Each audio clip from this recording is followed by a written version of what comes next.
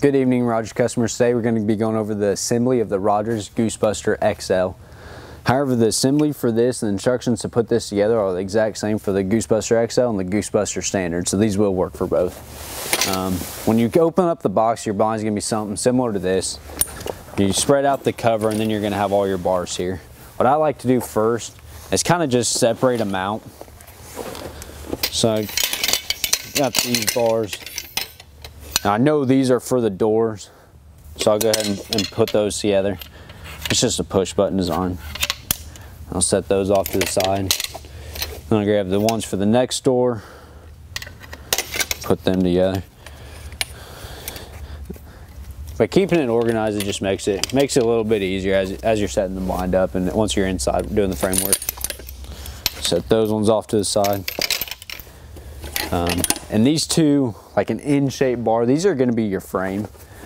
We'll grab those, we'll open up the blind. And these will be the foundation for the rest of your hunting needs.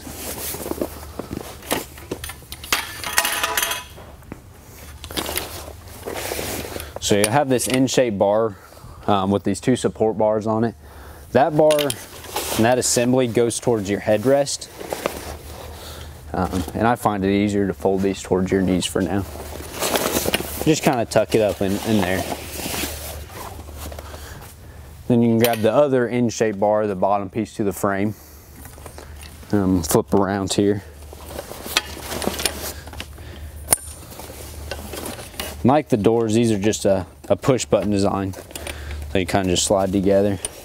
You kind of work it um, at separate times just to go, have it go smooth on. Locked in and locked in. After that, you have four screws to, to get your support bars on. This bar here, um, the one with the disc, and it'll have four pins on it. That one goes towards your headrest. You want to make sure these pieces here face towards the inside of the blind. Um, and this part here will screw right into this back corner. And it comes with the screw there. I'm to get that out. Put that one in. Then we'll mimic it on this side. Um, so same thing, just take that screw out,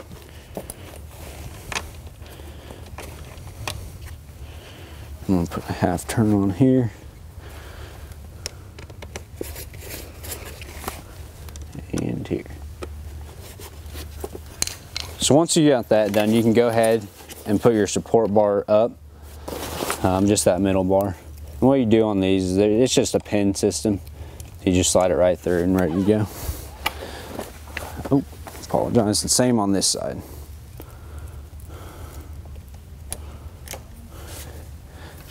After that, we're gonna move down to the bottom of the blind. And this is the bar that will go above your knees to give you a little bit of room down, down low. Take the two screws out.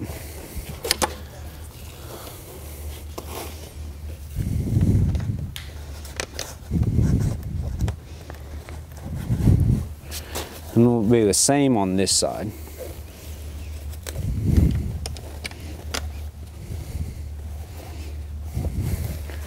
After that, your bottom bar is connected. What you can do is go ahead and take the cover and it just velcros around this bar. Um, so you can see it just slips around, just give it to a little bit of structure there. And I'm gonna go ahead and pull the seat over or your backrest over, kind of get the fabric up. And the next thing, all we have left to do is to install the doors.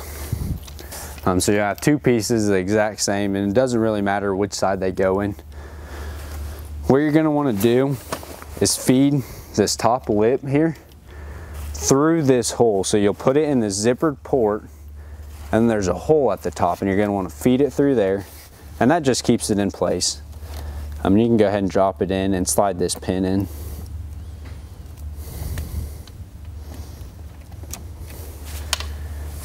Then with the, the rest of the door frame out here, um, you can slide it in this zippered assembly.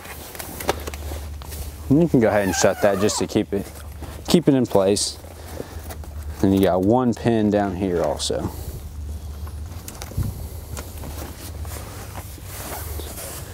And it's the same for same for this side. Make sure your door's open. Take your top piece. You're gonna want to thread it through that upper hole up there. And go ahead, and slide that pin in. And all these pins are connected by this rope. Um, so you never have to worry about losing them when you disassemble it or when you're out in the field. Go ahead and slide that in there. I like to shut the door just to keep it in place. Then you got one pin left. And you slide it in. Um, then all, the only thing else you need to do, if you look under your backrest, there's two buckles. I gotta loosen those up.